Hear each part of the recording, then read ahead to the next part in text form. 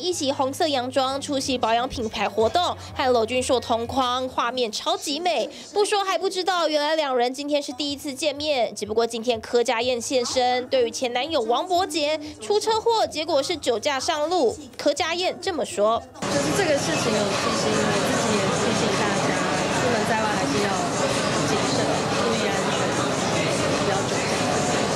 段。回应也不忘呼吁大家不要违法。其实王伯杰和柯佳燕两千零八年交往，二零一零年分手，传出是柯佳燕不满王伯杰酒后情绪失控才提出分手，结果还闹出王伯杰伤害自己的事件，因此就医。